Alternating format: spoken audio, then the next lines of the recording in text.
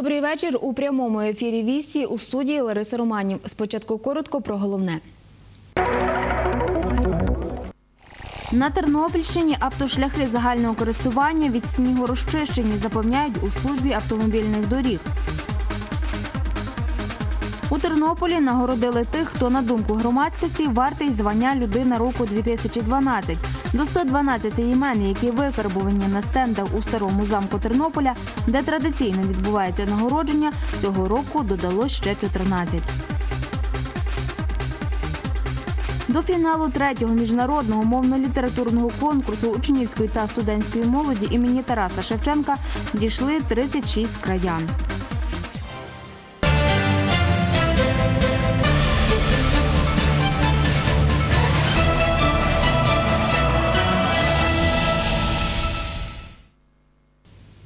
Тепер докладніше. 12-14 лютого відбудеться державний візит президента України Віктора Януковича до Туркменистану. Про це повідомив глава адміністрації президента України Сергій Льовочкін. Під час візиту глава держави проведе переговори з президентом Туркменистану. Відвідає Лебабський велаят, де візьме участь у заходах з відкриття та започаткування будівництва інфраструктурних об'єктів на території Туркменистану із залученням українських підприємств.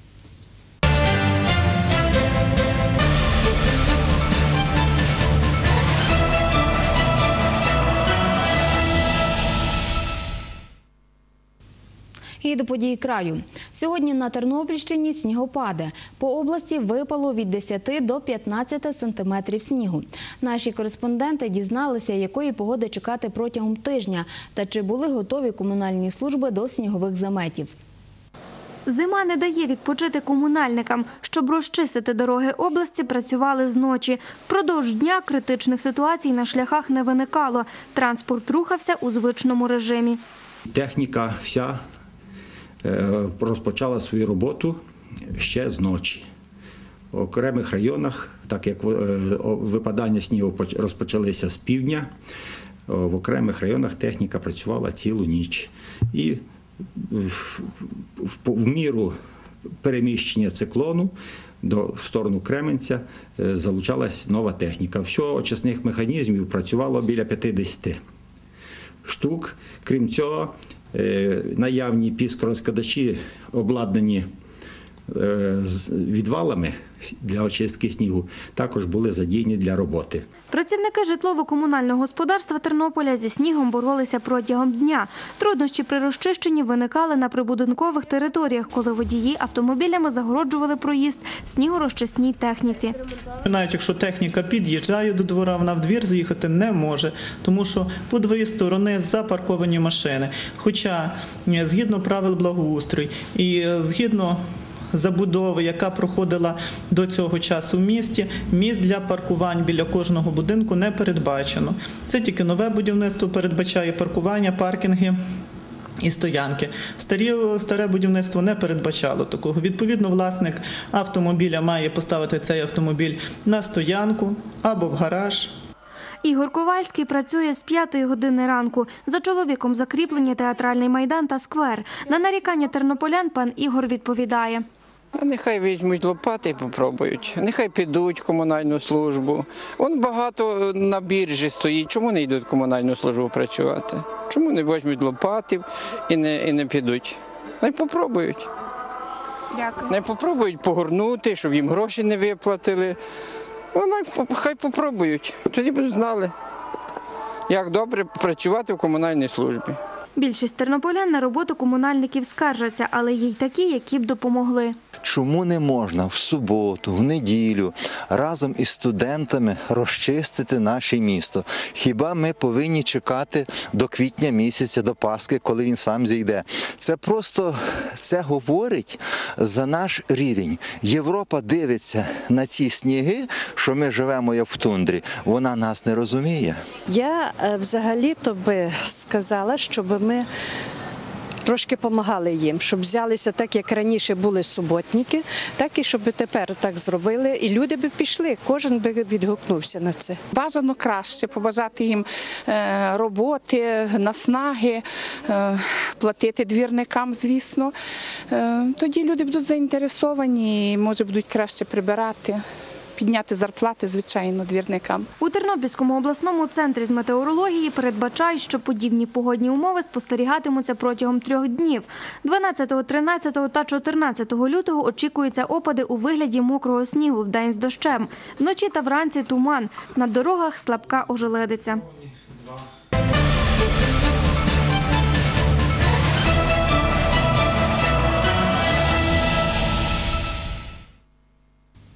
12 лютого о 10 годині у конференц-залі адмінбудинку Тернопільської обласної ради відбудеться друге пленарне засідання 45-ї сесії Тернопільської обласної ради. Таке рішення прийняла президія обласної ради.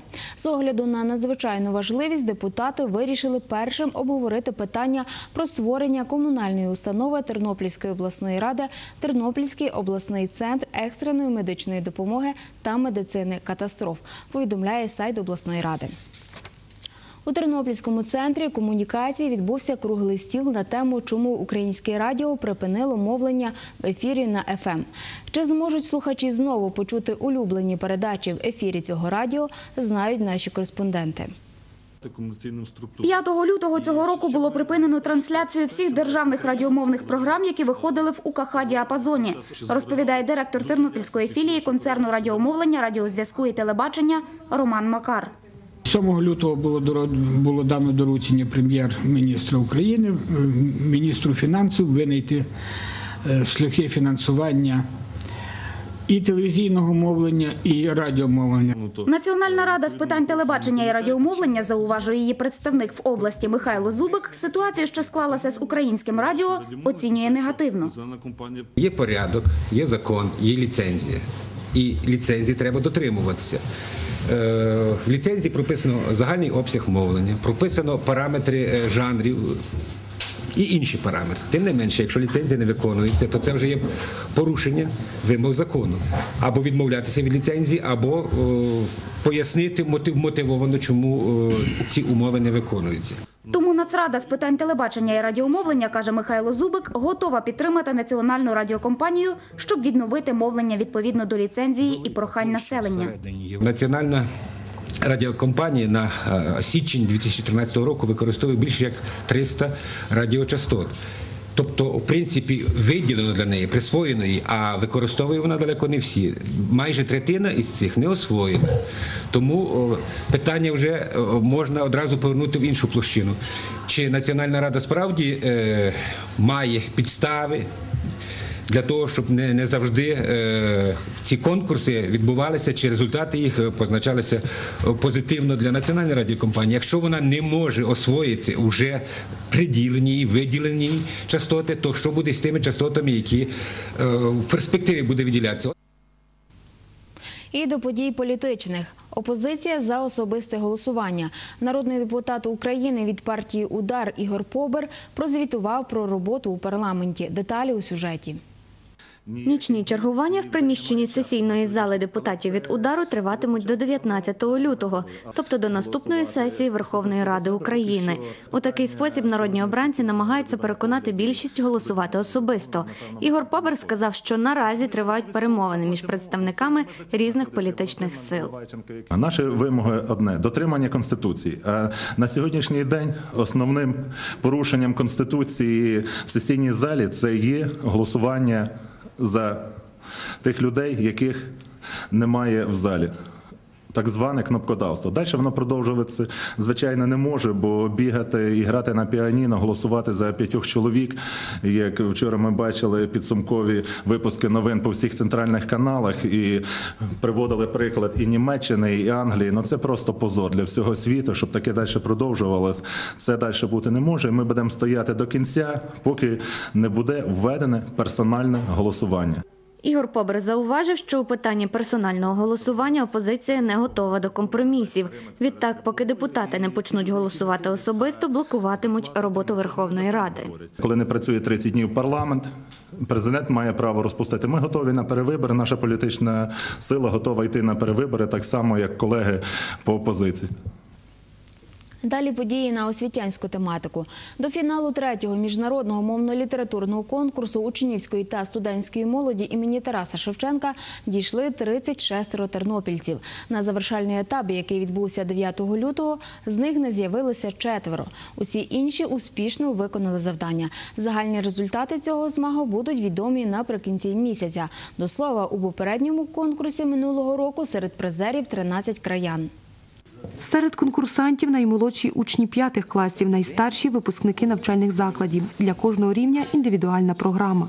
Всього є 13 номінацій, переможці яких отримують річну стипендію від президента України, а також путівку у фінальний етап Олімпіади з української мови. Конкуренція чимала. Загально у 10 країнах світу змагаються понад 900 осіб. На кожну категорію дітей дається кілька певна певна кількість годин. 5 і 7 класи у нас дві академічні години, і далі відповідно 3 і 4 для студентів це 4 академічні години. Марія Шрак приїхала із Теребовлі, Оля Зарішняк – тернополянка. Обоє випускниці і вперше беруть участь у цьому конкурсі. Займалися додатково, оскільки освітня програма Шевченківську тему повністю не охоплює. Я в першу чергу е, тобто, читала біографію Тараса Шевченка, також е, ну, звичайно твори. Е, На цей етап я старалася читати якомога більше якихось критичних матеріалів, е, тобто по його творах і власне по тому, яке їхнє значення там формування української нації, наприклад. Тобто, е, щоб відчути якби більше цей такий феномен Тараса Шевченка. Я додатково займаюся українською мовою, тому що мені потрібно здати тест ЗНО, до якого я готуюся. Я хочу поступити на готельно-ресторанний бізнес або на туризм. Усіх учасників, це переможці обласного туру, нагородили дипломами та пам'ятними подарунками від обласної держадміністрації. Ці конкурси вони є необхідністю для самоутвердження дітей, для того, щоб вони відчували, що дорослі за них дбають, що вони е, мають е, якусь ціну у нашому суспільстві. Адже дитина також хоче похвали, хоче е, того, щоб на неї звертали увагу. Це дуже важливо для утвердження молодої людини. Я думаю, що серед тих молодих людей, а тут у нас зібралися і учні від 5 класу до 11, тут є і учні професійно-технічних навчальних закладів, тут є студенти вищих навчальних закладів. І для них це дуже важливо. Мистецькі колективи третьої школи Тернополя, де тривав конкурс, гостинно привітали учасників. У старому замку відбулася церемонія нагородження лауреатів конкурсу Людина року 2012 з репортажем Людмила Островська. У старому замку, який символізує наше славне місто Тернопіль, раз на рік збирається добірна когорта людей, які доклалися своїм талантом, вмінням, знаннями до розвою міста, краю України. Збирають їх, щоб вручити нагороди і відзнаки конкурсу Людина року, організатори конкурсу, спортивно-мистецький та духовний центр Моя Україна і редакція газети Вільне життя. Натхненник цього урочистого пам'ятного дійства, заслужений працівник фізкультури і спорту України, заслужений тренер України Володимир Пласконіс. Цей конкурс був заснований в 2000 році, так, е, з ініціативи значить, газети Вільне життя. Ну і може сказати, із моєї ініціативи. Значить, участь в цьому взяв в цій ініціативі і міський голова на той час Анатолій Іванович Кучеренко. Я думаю, що він і надалі буде йти е, дуже Це можна це можна сказати, що це вже елітний клуб такий у Тернополі. Так, мабуть, так можна сказати, що це дійсно елітний, і він буде далі вдосконалюватися. І я надію, що це не останній. Буде в нас ще конкурси і 13, і 14, і 15, і так далі. Я знаю, що ви е, готуєте книжку про переможців цього конкурсу. Так, бо готується книжка, вона буде десь вийде е, у квітні місяці під назвою Золотий фонд Тернопілля, де всі наші номінанти, які тут ви бачите, так А поки що перед нами стенд.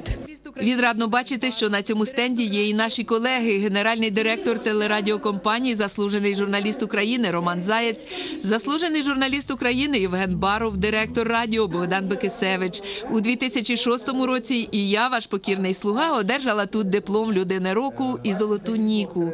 Лауреатами цьогорічного конкурсу стали привітали заступник редактора газети Вільне життя, журналістка Галина Сіра, начальник управління освіти і науки Тернопільської міської ради Ольга Похиляк, начальник лікарні з поліклінікою сектора медичного обстеження УМВС України в Тернопільській області Віталій Апостолюк, заступник Тернопільського міського голови Леонід Бецюра, голова Тернопільської організації Національної спілки письменників України Євген Безкоровайний, голова наглядової ради товариства Бучач Агрохлібпром, герой України ПетроГац, заступник голови регіонального олімпійського комітету, чемпіон України, майстер спорту Віталій Ігнатенко, головний лікар лікарні номер 2 міста Тернополя Віктор Кміта, заслужений діяч мистецтв України, головний диригент симфонічного оркестру обласної філармонії Мирослав Кріль, семиразовий чемпіон України, володар Кубка європейських чемпіонів, майстер спорту, заслужений тренер України Анатолій Лосєв, заслужений юрист України, голова ради адвокатів Тернопільської області Валерій Міщенко, головний лікар Вітрянської амбулаторії загальної практики сімейної медицини Монастирського району Володимир Остафійчук, лікар-кардіолог, консультант, заслужений лікар України Василь Пришляк та генеральний директор корпорації Агропродсервіс Іван Чайківський. То було трошки несподівано, і то мене вразило. Ну, а решта я просто роблю свою роботу. Як на мене, це дуже великим визнанням моєї скромної праці на радість людям, які приходять до нас в філармонію, слухають наш оркестр, слухають наші колективи. Ну і звичайно, що це, це не є тільки особисто моя нагорода, а це є нагорода всього колективу симфонічного оркестру, без яких я однозначно нічого би не зміг зробити. Ця нагорода особлива. Справа в тому, що це нагорода від громади. Хочу наголосити, що це нагорода не тільки моя, а нагорода всієї коман- команди освітян міста Тернополя. І те, що відзнаки лауреатам вручали знані в нашому краї люди, ті, хто вже занесений до списку переможців конкурсу, засвідчує про неординарність події у краї. Маю сьогодні за честь вітати всіх наших іменинників, так називаємо їх так, з такою важною подією, в- значною подією в їхньому житті, в житті нашого міста. І хочу побажати їм міцного здоров'я, успіхів і шевченківського оптимізму, що буде син і буде мати, і будуть люди на землі. Що потрібно знати, аби молоді було цікаво, комфортно і пізнавально, вирішували представники національної скаутської організації Пласт, які з'їхались у Тернопіль зі всієї України. Також на зустрічі із офіційною назвою Молода рада з Кобилого кругу обирали нових референтів та затверджували резолюції. Делегатів привітав міський голова Тернополя Сергій Натал. Напевно, жоден великий захід не обходиться без підтримки і допомоги пластунів. Потрібно подякувати їм, тому що вони дійсно активною частиною суспільства міста Тернополя. Вони дуже багато заходів ініціюють самі. Е, Навіть сам факт того, що молодіжним міським головою обрано голову міського пласту, також говорить про рівень активності цієї громадської організації, про її рівень довіри до нього. І з кожним роком кількість пластунів в Тернополі збільшується. Власне, саме тому міська рада завжди допомагає і підтримує розвиток пласту. Пласт побудований так, що для кожної вікової групи є цікава пізнавальна програма, яка передбачає ігри, навчання, мандрівки, спортивно-мистецькі заходи та інше. Офіційно в Україні 5 тисяч пластунів, з них половина віком від 12 до 18 років. Тож заняття та дозвілля цієї аудиторії вирішили удосконалити. Наша мета це надати нашим вихованцям ціле спрямоване дозвілля, тобто дозвілля насичене змістом. І тому дозвілля це, тобто, якщо це там. Ті ж самі дискотеки вони мають бути українські, щоб сповідувати якісь певні цінності, та або вони мають бути приурочені до якоїсь корисної справи. Наприклад, на цих заходах збираються кошти для допомоги сиротинцям чи навпаки там потребуючим воякам УПА, наприклад. Так тобто ми не накидаємо якісь нові варіанти проведення дозвілля. Ну окрім звісно, таборування це наша фішка, можна так сказати. Ми намагаємося наситити те, що цікаво юнацтву, якимось додатковим змістом. Одним із напрямків ефективності виховної системи спеціалізація, тобто на які напрямки буде попит, таких фахівців і залучатимуть. Наприклад, уже є можливість вивчити літаку чи машинобудування. Серед важливих нововведень зміна діючої системи на скаутську. Будемо пробувати запроваджувати е, скаутську систему повністю, е, така як є в скаутів. Е, І буде готується резолюція, яка буде передбачає вже апробацію цієї системи протягом наступних трьох років. Ця система являє собою повністю, коли старшими, коли є скаут-майстер, який вже відповідно має під собою там ланку інструкторів, які займаються з дітьми, але дітьми безпосередньо керують їхні гурткові, тобто лідери, які такого самого віку, як діти, але вони просто якби чуть більше знають і чуть більше можуть. До слова, пласт одна із небагатьох громадських організацій, яка приймає дітей віком від двох років, а також ініціює нетрадиційні заходи. Днями стартує акція добрих діл, яка триватиме рік. Цього року ми плануємо запустити таку річ, як е, е, е, конкурс добре, не те, що конкурс, а мотивувати юнацтво робити добрі діла впродовж е, всього року, оскільки е, пластун це є людина, яка робить добре діло кожного дня, і кожного дня вона старається зробити якийсь свій вклад для розвитку суспільства. Наступна їх зустріч 15 лютого у Львові. Там святкуватимуть День пластуна. На цьому у мене все. Дякую, що були з нами, і побачимось завтра.